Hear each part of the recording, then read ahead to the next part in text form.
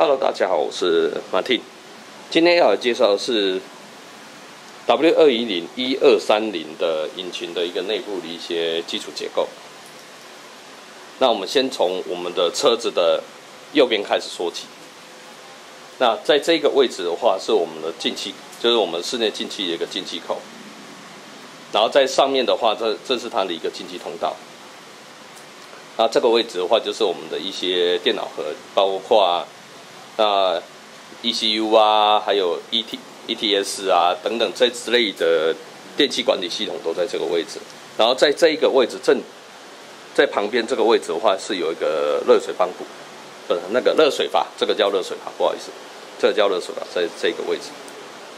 然后这是我们的副水桶，然后集气箱，然后往这边拉的话，我们就可以看到这一个。这个是我们的空流，空气流量感知器，然后进气管进来，然后到这边我们的进气气管，然后在这个位置上面的话是有一个节气门。那我们的高压线前跟火星塞就在这个盖子的正底下。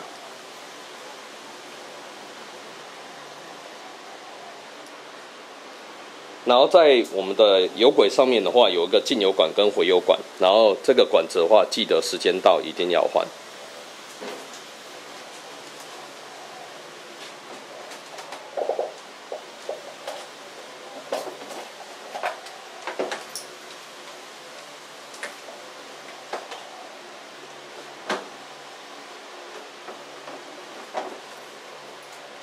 因为这一台车是早期的时候，所以它还是走那个 wire 的一个拉线拉线式，然后这边就可以看到节气门，这个就是我们的油轨，然后这上面的话就有一颗那个我们的调压阀。那在这个位置，我们看到这个就是节温器，这一条就是上水管，然后这个就是我们的动力方向盘的盘的一个储油的一个地方，也就是我们的动力方向盘帮。然后这边会有一颗我们的那个机油离心杆，那这是我们的刹车的刹车背离器，然后总泵，然后电气盒，另外一个电气盒，它包括了一些保险丝座都在这里。然后这边的话也有一个那个正极的一个正极线，我们在旧车的时候会用到。然后这是我们的雨刷水，然后 ABS 的一个总成。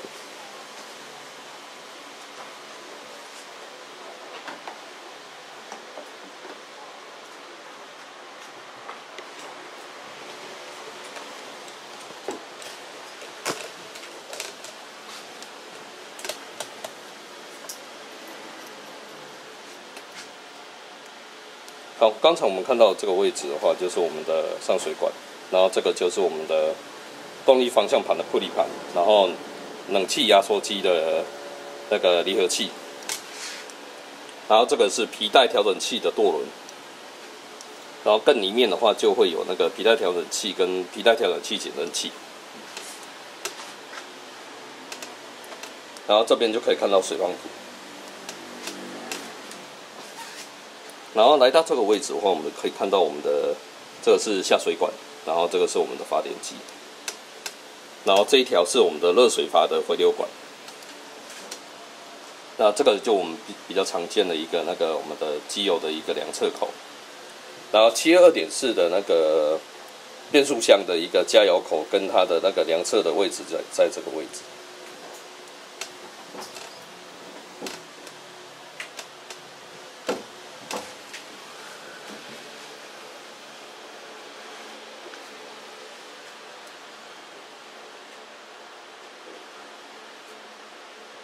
好，大致上的话，我们